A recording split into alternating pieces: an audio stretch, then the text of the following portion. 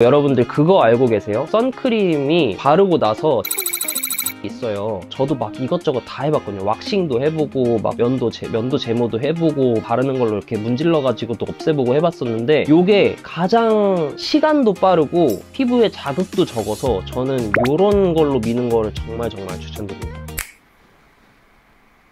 자 안녕하세요 여러분. 어, 요즘에 장마 기간 지나고 나서 너무너무 덥고 습하잖아요. 이제부터 진짜 본격적인 여름 시작인데 그래서 오늘은 남자들이 꼭 하면 좋을 남자 여름 관리에 대해서 한번 얘기를 해보려고 합니다. 그러면은 긴 말하지 않고 바로 시작해 보도록 할게요. 첫 번째는 바로 선크림입니다. 특히 남자분들한테는 선크림을 잘 발라야 된다고 항상 얘기를 드려요. 자외선을 아무것도 거치지 않고 바로 노출을 하게 되면 단순히 피부가 타는 거가 문제가 아니라 피부가 노화가 되기 때문에 우리가 선크림을 계속 발라주려고 하는 거예요. 남자들 중에서는 선크림 안 바르는 사람이 되게 많거든. 귀찮다고. 나도 그랬고. 근데 20살 중반부터 해가지고 선크림 안 바른 그 친구들 학교 후배들 전부 다 후회했어. 아형 형이 왜 그때 저한테 선크림 바르라고 했는지 이제야 깨닫습니다. 규맨 하면서 다들 그걸 깨닫는단 말이야 나중에 들어서. 그래서 선크림을 꼭 발라야 하는데 선크림에는 크게 두 가지 종류가 있습니다. 무기자차와 유기자차가 있거든요. 자차는 자외선 차단을 얘기를 하는 거 고요. 무기,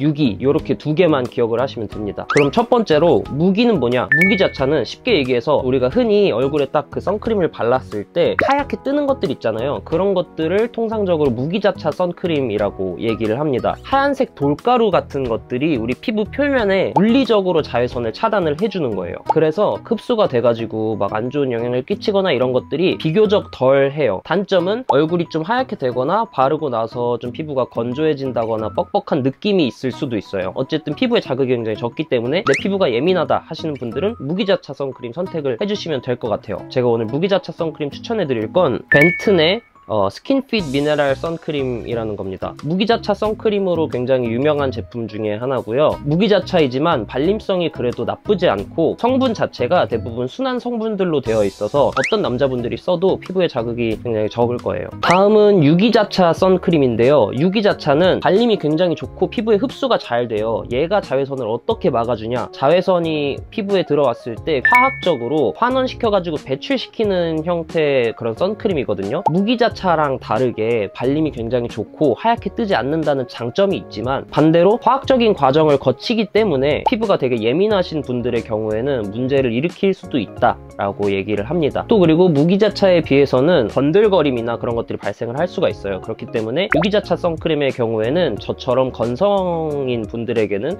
굉장히 잘 맞는 제품이라고 볼 수 있겠습니다. 피부가 예민하지 않고 그래서 제가 유기자차 선크림 중에서는 뭘 추천하냐면요 Oligo Hyaluronic Acid sun 에센스라는 제품인데요. 이 제품 같은 경우에는 성분들 자체가 되게 순한 편이라서 피부에 자극도 덜한 편이고요. 발림이나 흡수가 굉장히 좋은 편입니다. 그리고 이게 sun 에센스 제품이잖아요. 요즘 브랜드들에서 막 보면은 sun 에센스 이런 제품들이 약간 우후죽순 막 출시가 되고 있거든요. 그 말은 뭐냐? 선크림 제품군들 중에서는 발림이나 흡수가 개선이 돼서 나온 제품들이 대세가 되고 있다는 거예요. 그런 것들 사람들이 선호하고 있다는 거고. sun 에센스 같은 거 시중에 새로 출시된 제품 같은 거 있으면은 있으면은 성분 한번 잘 확인해 보시고 써보시면 좋을 것 같아요. 그리고 이 유기자차 선크림 같은 경우가 꼭 좀 필요한 이유가 뭐냐면 저는 남자분들한테 메이크업 같은 거 하라고 좀 추천을 했었잖아요. 근데 메이크업 하기 전에는 유기자차 선크림을 바르는 게 선크림 바른 이후에 메이크업 했을 때 흡수라던가 좀 메이크업 밀리지 않는다던가 그런 장점이 있기 때문에 무기자차를 쓰시는 분들도 메이크업 할 때를 대비해서 유기자차 하나쯤은 가지고 있는 게 좋은 것 같습니다. 그리고 여러분들 그거 알고 계세요? 선크림이 바르고 나서 지속 시간이 있어요. 보통 대부분의 선크림은 바르고 나서 한 4시간까지를 limit로 보고 있거든요. 그거보다 훨씬 덜한 제품들도 많고요. 그래서 틈틈이 우리가 덧발라줘야 되는데 밖에 다니면서 덧바르기 너무 어렵잖아요. 그래서 여름에는 이런 sun stick 같은 것도 추천드립니다. 하루하루 Wonder의 sun stick 제품인데 이것도 제품 성분 자체가 굉장히 순한 제품들로 되어 있고 피부에 바르거나 했을 때 굉장히 부드러운 제품이라서 화장이나 뭐 이런 것들이 밀리거나 하는 거 없이 되게 부들부들하게 발립니다. 저도 들고 다니면서 쓰고 있어서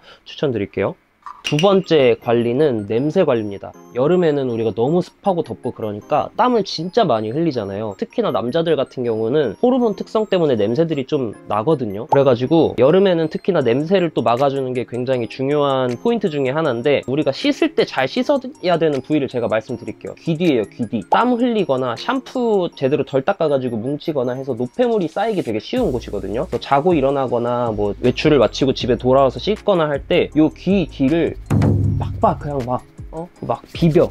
비벼. 막 여기를 빡빡 닦아주세요. 폼클렌징 같은 걸로도 한 번씩 더 해주시고 그렇게 해주시면 여름철 냄새를 막는데 도움이 많이 됩니다. 그 여름철 냄새 하면 좀 가장 대표적인 게 우리 겨드랑이 냄새잖아요. 땀이 많은, 많이 나는 데다가 반팔 입고 다니고 하니까 좀 겨드랑이에서 냄새 나기 쉽거든요. 그래서 여름철에 사람들이 겨드랑이 냄새 막으려고 데오드란트를 많이 쓰시는데 데오드란트 같은 경우에는 이제 겨드랑이에 발라서 냄새를 바꾸는 거잖아요. 근데 저 같은 경우에는 그냥 드리클로를 여러분들한테 조금 더 추천을 드립니다. 드리클로는 냄새를 안 나게 해주는 게 아니라 땀 자체를 안 나게 막아주는 거예요. 겨드랑이 쪽에. 자기 전에 건조한 상태에서 한번 발라주고 아침에 일어나서 씻고 이런 거를 며칠 동안 반복을 하면 이제 겨드랑이에 땀이 안 나기 시작하거든요. 땀이 안 나면 당연히 냄새도 안 나겠죠. 겨드랑이 냄새로 고민하신 분들이 있다면 드리클로를 추천드립니다. 자 마지막으로는 대망의 털 관리인데요. 반팔이나 반바지 입었을 때 제일 신경 쓰이는 게 뭐냐? 털이에요. 저는 팔에는 털이 많지 않은 편인데 다리털은 꽤 있는 편이거든요. 저 같은 경우에도 돌아다니거나 할 때 털이 관리가 안 돼 있으면은 돌아다니기가 조금 그렇더라고요. 그래서 어쨌든 저도 털 관리를 여름에는 각별히 신경 써서 관리를 했었거든요. 그래서 제가 쓰던 게 요겁니다. 다리털 숯 제거기. 제가 이거 한 20대 중후반부터 이런 제품들이 되게 많았었거든요. 그래서 요거를 제가 써왔었는데 지금은 완전히 갈아탔습니다. 바로 Face Factory의 body trimmer입니다.